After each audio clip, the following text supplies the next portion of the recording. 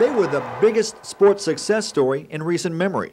Now, the Hampton Roads Admirals are confidently preparing for an encore. But a year ago, they didn't know what to expect. We really had our fingers crossed. We honestly didn't anticipate the kind of uh, acceptance that we got. As I said kind of facetiously, we don't try to analyze it too closely. We don't want to screw it up. Last winter, the Admirals were the hottest ticket in town. Scope was sold out five different times, and in their first year of play, the Admirals led the league in attendance. And if the preseason is any indication, they'll do it again.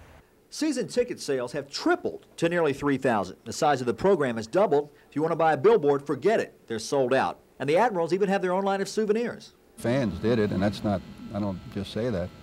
Uh, when you draw that many people, we, we, we did become noticed. They know their hockey, they know what they like, they know good entertainment.